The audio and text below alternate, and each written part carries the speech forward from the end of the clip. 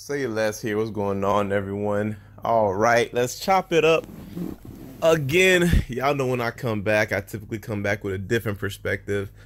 I normally don't look at things the way everyone else does, but that's just me. I feel as if there are a lot of people who are kind of outside the matrix and a lot of people who are stuck in it, man. There are there are people who are going to be sheeps and there are people who are going to be able to overcome that. So what am I talking about, man?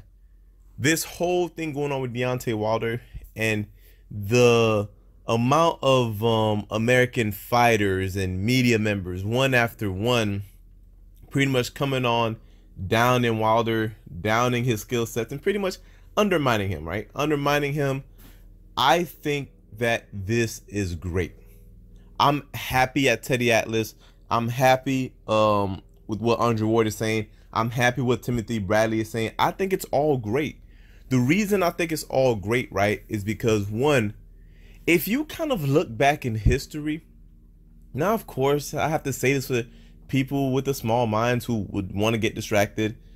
Yes, um, Deontay Wilder is not Muhammad Ali, but if you notice the thing about great people, people who kind of did things that was outside of the norm or new or built a legacy for themselves, more often than not, on the way up, a lot of people are trying to pull them down or minimize everything that they did. It's just the truth. It, it's just what it is. They typically had more people against them than for them. You know, so that's just kind of the historical point of view. Because yes, we look back favorably on uh, Muhammad Ali, Martin Luther King, Malcolm X, but remember during that time period, what they were going through, a lot more people was against them than for them. We really have to kind of remember that, in, like before we really kind of get into it. Now, from a even more of a basic standpoint, to let's bring in the you know the whole social activism let, let, us put that aside. I do bring up uh, i still think Wilder's within that realm because he does speak for his people but he's not a social activist like a um a martin luther king right? But let's dumb it down. Even a floyd mayweather. I'm not a fan of floyd especially not now anymore as time went on.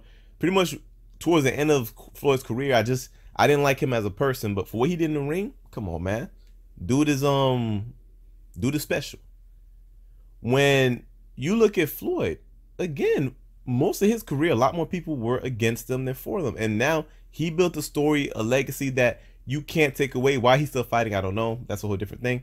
But as far as what he did in boxing, you can't take that away from him. The money he made, the way he was able to provide for his family, and the way he had an impact on the sport as a whole and a generation of new and upcoming fighters, you can't take that away from Floyd. But we have to remember, while Floyd was coming up, there was a lot more people against Floyd than there were that people that was for him. That's what it is, especially within the American media, right? Same thing with Andre Ward. One of the issues that um the American people he had conversation about this as well, where not a lot of people you know was backing him, doubting him, and he had to overcome and he triumphed and he had a great story. So I love I love guys right who literally struggled. Ward even came out and said when he went to the UK, he got way more love from the UK media than he did the American media. I love the fact that now that these guys are in position to break the mold, to not down another American fighter the way that they've been down their whole career and pretty much root for the foreigner, that they're doing the exact same thing. I love it. They're doing the exact same thing people did um, to them throughout their careers, and they're doing it to Wilder. And I love it, man. The reason I love it and I love that story, Wilder's gonna be the one that's gonna break the mold, right? He's gonna be the one that's not gonna turn back complain about what people um been doing to him, then get in the same position and do the same thing, do the same song and dance, do the same chuck and jive. He's not gonna do it because he's not like them. Mind you, again, people can you can say what you want, but everything I'm saying is factual. Everything I say state is facts. Floyd had a lot more people against him than he did for him, along with Andre Ward. They both spoke about how the American um, media they represented America. Uh, you know, Ward a gold medalist. Uh, I forgot they, they did Floyd win a medal. I think he won the, won the bronze, but he was robbed. You know, they both uh represent their country in the Olympics, like Wilder did. They both going up for whatever reason had the media against them. Um, it was a thing where they were too technical, too boring. You know, they pretty much wasn't they weren't exciting enough. You know, that was the knock against them over and over again. Now you have a guy in Wilder who's not technical, but who is exciting. You know, pretty much giving them um the media quote unquote what they wanted, but now they're downing him for not being technical enough. So that kind of shows you right then and there that there's never a right answer. But I digress, ladies and gentlemen.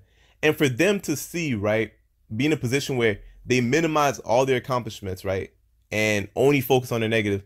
For them to kind of flip around and do the same thing to someone else and then root for another foreigner, right, wrong, left, right, it's pretty sad to see, man. It, it is, but the beauty of it is that it makes a great and compelling story, and that matters, man. This shit right here, I'm gonna call it that was going with Deontay Wilder. Some, is something that you're gonna be able to make a movie about.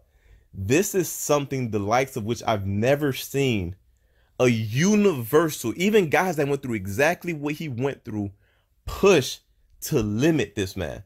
It's amazing. And to the point where they're omitting logic. It's not just, oh man, he's not skillful or whatever the case may be. That's fine. You know, that's okay. Okay, right? It's a Wilder's out here on a campaign saying nothing else. We want a rematch, and then you got guys like Ward and Bradley talking about some.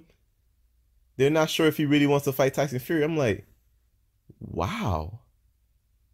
I mean, that's amazing. Like th- that is amazing to see where you, the guy, have done something that they wouldn't do, right? Because after Ward, after a lot, of, a lot of ninety five percent of the fighters, what do they do? controversial controversial matchup, something like didn't go their way. They gave immediate rematches. Ward and Mayweather did, but they didn't want to talk to anybody. They just went away. They went away. Um, they went spend time with their families and yada yada, and they were gone. Left us like you know in limbo for the most part. What they were gonna do. Wilder didn't do that. Immediately afterwards, everywhere continuing to promote to um, to promote the sport of boxing and being exemplary, just being literally what the sport needs not shying away from criticism, but addressing it, not being too big to give the responses despite the amount of people shitting him. But you know what? Like I'm telling y'all, this makes a better story and this makes a rematch more compelling because essentially Wilder has his fan base and that is it. You know what I mean? It's literally the media, um, a, a lot of black American fighters, and essentially everyone against him. So when he comes back and does what I believe he's gonna do to Fury, it's gonna be that much better of a story, man. It's gonna add to his legacy. It's gonna do something that these guys, because of the position that they took, they have to swallow a lot of that bullshit. And it's gonna be even worse, right? Because they're gonna know as they're swallowing that hard pill that this is the same thing that they force other people to swallow. So it's gonna be a lot of retribution, a lot of vindication with this story. So what I want, I want more guys. I want more um American um media members to really go out and stand against uh, against this man. Really down Wilder, scream it to the top of your lungs. Root for the foreigner as hard as you can, because I'm gonna do something right. I'm gonna take control of the of this narrative, and I'm gonna start it for Wilder fans. Is it's literally going to be Wilder versus the world. And to see a man overcome that, overcome his peers, overcome guys that literally were talking about how as American fighters, they don't get the respect they deserve. They don't get the love from the American fans. For them to sit down in the first time they get on uh, the first chance they get to change that mold, they down another American fighter. I think it's beautiful. I think it's a great story. Again, I'm really holding on to this whole thing with the movie because it's just interesting it's a really amazing story that I would love to see. But that's my thoughts on the situation, y'all. Y'all let me know what y'all think, man, about what's going on. Is it bad? Is it good? You know, just give me your thoughts, man. It's your boy, Say Less. I'm out. Say Less.